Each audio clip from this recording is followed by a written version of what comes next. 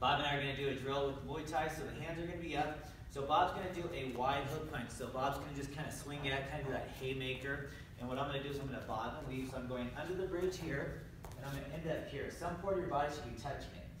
If I go under the bridge and I drop my hands, a lot of people do that. Uh, Bob's going to back elbow me, right? So back elbow, and then he's going to clock me here.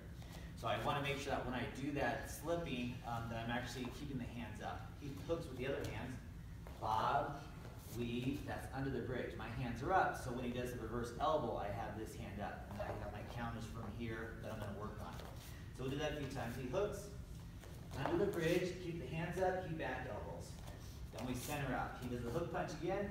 I do under the bridge, keep the hands up, keep back elbows.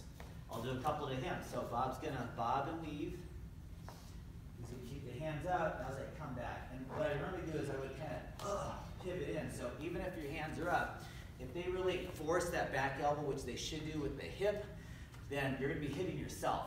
So it's important to remember that too. So if they really power into it, even though your hands are up, you don't want to be hitting yourself. I'm going to attack this side, up in the bottom weave. I'm going to power in, and there's the defense. A couple more. Bob and weave, protect. One more time.